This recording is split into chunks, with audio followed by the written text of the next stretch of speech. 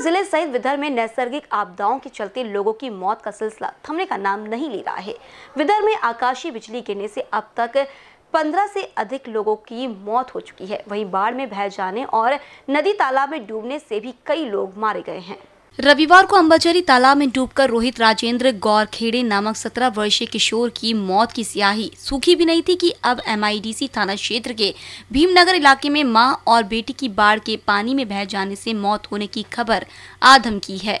बाढ़ में बही महिला का नाम सुमधा मात्रे, जबकि उसकी बेटी का नाम अर्चना मात्रे बताया गया है। अर्चना महज सत्रह वर्ष की थी। इस हादसे की जानकारी मिलते ही पुलिस और दमकल के जवान घटनास्थल पर पहुँच गए।